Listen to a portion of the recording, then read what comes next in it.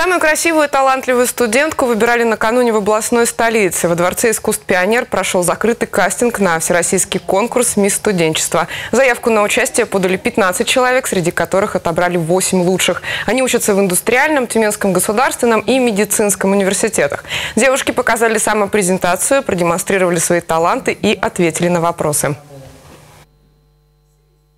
На самом деле вопросы каверзные. Я же в жюри.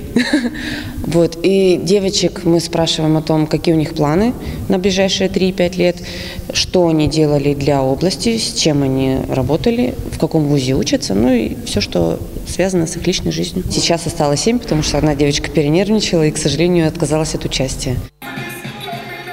По итогам отбора победительница через две недели представит наш регион в Москве.